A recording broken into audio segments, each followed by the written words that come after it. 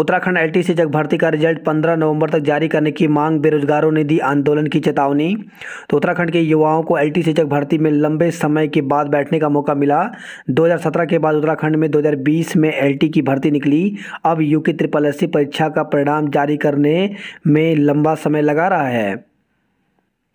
वहीं UP TGT PGT की परीक्षाएँ भी उत्तराखंड एलटी के समय पर आयोजित की गई थी, जिनका परिणाम एक माह के भीतर जारी कर दिया गया, जबकि यूपी में परीक्षा में बैठने वाले अभ्यर्थियों की संख्या उत्तराखंड एलटी के अभ्यर्थियों से 19 गुना थी। युवा लगातार तीन चार साल से बाहर रहकर कमरों से लेकर कोचिंग तक का किराया भरते रहे और हाल यूँ है कि पाँच साल में एक भर्ती भी पूरी हो पाना मुश्किल लग रहा है। शायद यदि आयोग परिणाम जल्द से जल्द जारी कर दे।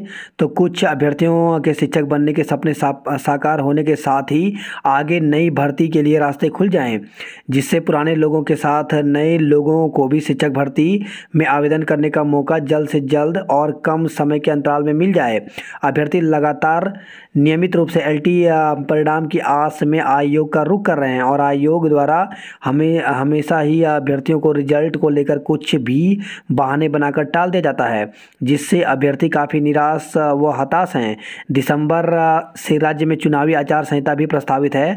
अगर परिणाम नवंबर पंद्रह तारीख तक नहीं जारी हुए तो अभ्यर्थियों को एक लंबा इंतज़ार करना पड़ सकता है, जिससे अभ्यर्थी काफ़ी आक्रोशित हैं और उनका कहना है कि अगर सचिव संतोष बड़ोनी ने पंद्रह नवंबर तक रिज़ल्ट घोषित नहीं करते हैं तो वे वहाँ दोनों मंडलों में आंदोलन शुरू कर देंगे, जिसकी ज़िम्मेदारी आयोग की रहेगी और वे आयोग व सचिवालय के बाहर क्रमिक धरना व भूख हड़ताल करेंगे, जिसकी ज़िम्मेदारी आयोग और राज्य सरकार की होगी। एक तरफ़ तो सरकार को रोज़गार के सपने दिखा रही है। वहीं दूसरी तरफ़ रिज़ल्ट के इंतज़ार में युवा धक्के खाने को मजबूर हैं। पूर्व विधायक एवं प्रदेश कांग्रेस उपाध्यक्ष बिजपाल सजवाण ने कहा कि यहाँ सरकार परीक्षा के नाम पर छात्रों को बरगाल, बरगलाने में लगी है, जिसका जवाब देही युवा आने वाले विधानसभा चुनाव में देंगे।